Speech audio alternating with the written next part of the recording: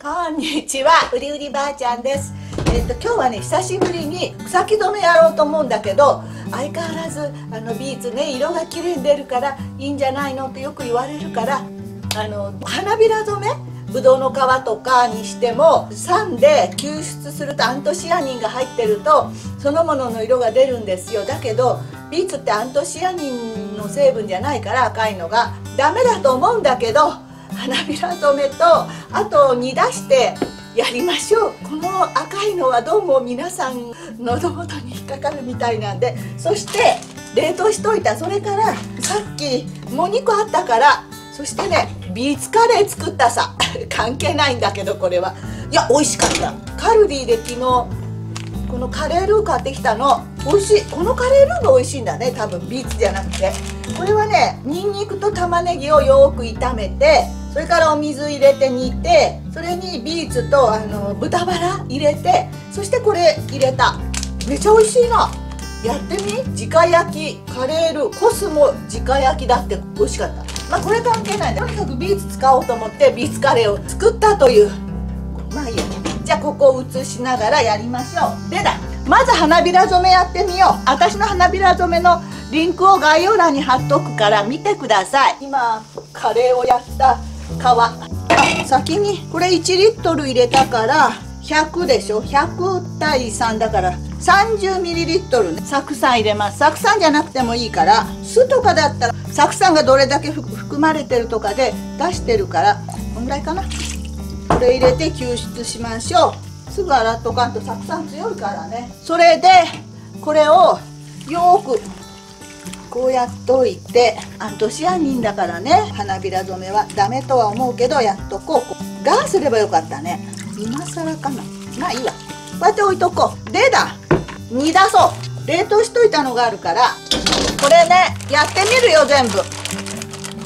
草木染めでもやってみよう。煮出すねこれは。ビーツはどうにかものにしたい感じはあるよね。で急にそう思い出した。今ねキウイもやってみようかと思って最近キウイよく食べるから皮食べてるんだけどまあいいわ。ねこれはこれでやってみよう。ではこのぐらいもちょっと面倒くさいから本当はよくちっちゃくして長くゴシゴシ揉んだ方がいいんだけどあんまりやってない。けど1個入れてみよう。そして煮出す時も酢酸をねちっと入れた方がいいと思うの。赤みを出す。酸を入れると赤みが出るからじゃあ1枚シルク入れてみる。どうなるでしょう？止まるの？これ。どうだろうね？わからん。水つけたら全部取れそうな気がするんだけど。どんなもの？中ちょっと入れとこうか。こうやって入れといてみるわ。それでだね。これお酢入ってるじゃん？酢酸が。でこれを煮出したのをここに入れてまた何回か煮出してやってみよう。この煮出した液こっち入れるよ。酸の入ってるのに一緒に入れた。何回か煮出す。それで使ってみよう。ではこれを入れて煮出したやつ。酸も入ってる。これはね先焙煎しといた。茜とかって先焙煎してやるからひょっとしたら先焙煎すれば赤色が出るかなと思ったの。ちょっとやってみよう。これで出れば万々歳だね。それでこれはまだ焙煎してないやつ。入れるね。どうだろうね。染まるといいけど。これはアントシアンの花びら染めのつもりだけどこんななってるけど洗ったらダメかもよ。ちょっと置いといてみよう。染まるかどうか。これは無焙煎。うわこんななってる。ちょっと染まるってことじゃないの？熱っ熱っちょっととりあえず煮てみよう。なんか染まりそうだね。もうちょっと入れていいな。今ね人が来て止めたからもうちょっとこうやって煮といて洗ってみるわ。どうなるか。はどうだろうね。これちょっと洗ってみようか。洗って取れるかどうか。取れたらダメよね。あ今ね水洗いしたけど取れない感じだね。もうちょっと入れといてみる。うまくいきそう。これも大丈夫っぽい。こっちは無焙煎なんだけど。どう？なんかうまくいきそうな気がしてきたね。これグツグツしたらおしまいにして洗います。剣道であるかどうかわからんけど。はーい煮えてきましたね。こんなでいいでしょう。じゃあ止めます。熱い熱い。でこれが冷めてから洗ってみるね。こっちも冷めてあこれ冷めてるけど後で水洗いしてみる。水洗いして取れたらダメよね。まあいいや。やってみよう。これもねやってみる。これ洗ったけど落ちない。大丈夫みたいよ。ほら。色も出ないしこれ花びら染めしたの。大丈夫だわ。できるんだねビーツで花びら染め。アントシアンじゃないからダメかと思ってやってみないとわからないね。これはね明板で先焙煎した。こっちは無焙煎。まだやってない何にも。まあいいわ。はいこんな感じ。できたよ。これが明板の先焙煎あといて。何かが私の足を刺さった。長靴履いてないの痛かった今。あつかな私ダメよね。あちょっと長靴履いてくる痛い。あこのピンクは花びら染め。これは煮出した草木染め。これは明板で焙煎したやつ。はいビーツの染めでございます。花びら染めもできたね。アントシアニンじゃなかった、はい。終わったんだけど私も反省してこれ焙煎してないし焙煎しようと思う。それから昨日道の駅に行ったらビーツあったから買ってきたからもうちょっとこれ焙煎した後にビーツしてこれももうちょっとねなんたら染め。花わっちょっと待って。あ待って。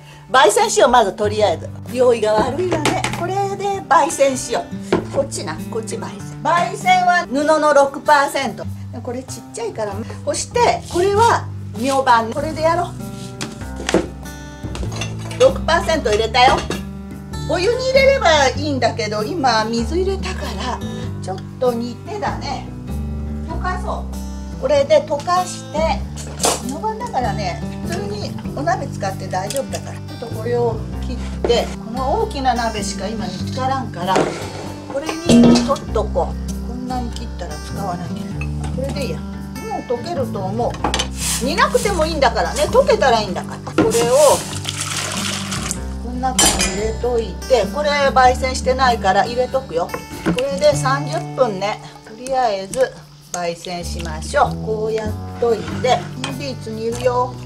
茎食べてもいい。食べた方がいいよな。もったいないよな。茎は食べよう。美味しそうだもん。でねこれぐらいはまた花びら染めチットでもいいじゃんね。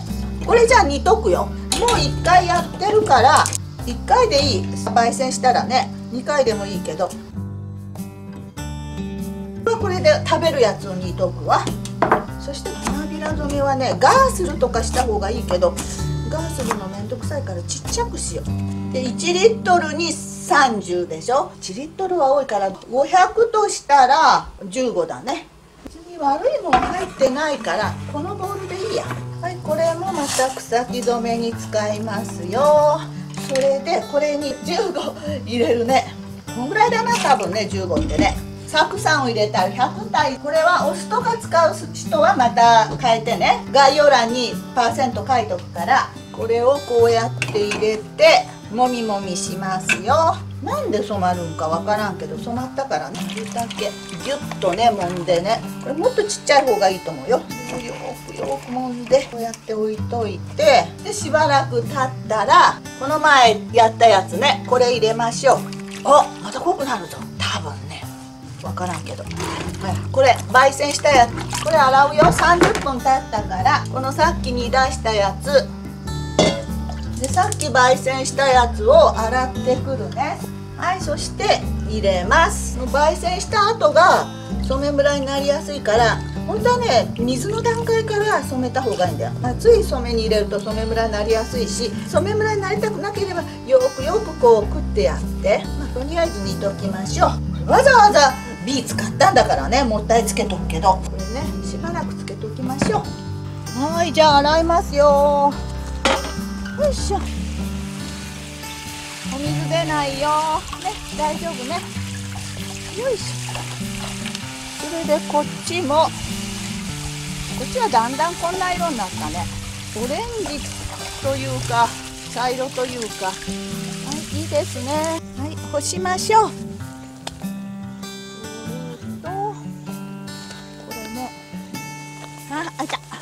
はい。ビーツで染めました。こっちが花びら染めね。こっちが明晩です。みんな大好き。ビーツ染め。いかがですか、ビーツで染め。手を抜かないで。2回染めたからねこれ。花びら染め。乾いたらこんな色ですよ。こっちは中焙煎したやつ。先焙煎したやつはこれ。まあちょっと材質が違うからシルクだけど先焙煎した方がちょっと赤みあるのかな。まあいいわはいみんな大好きビーツですよ。これが花びら染めでやってアントシアンでやって染まらんかなと思ったけど染まったね。でこれは明晩で焙煎したやつですね。はいみんな染まりましたよ。皆さんも是非ビーツの皮で染めてみてください。はいどうも。今日はありがとうございました。全部ご覧いただいて。またこういう動画あげますね。今度はねキウイの皮で染めてみようと思います。それから草木染めじゃないのもやるけど草木染めとか手織りが好きな人はあの違う時はスルーして。でもチャンネル登録外さないでくださいね。またやりますから草木染めシリーズは。DIY 好きな人は。でもいいじゃん。ちょっとたまにはビーツで染めてみてもいいんじゃない？ね。やらなくても面白いでしょ？子供たちのあもう夏休み休み終わったけど夏休みの宿題にもいいかもしれないし実験でもいいじゃん。やってみて。染まるから。でも私は酢酸しかやってないから酢酸しかわからないけど酸とかクエン酸とかまあいろんなものだと多くしてやったりすれば染まるんじゃないかなと思うけどわからん。酢酸は染まりました。花びら染め。じゃあまたねバイバーイ。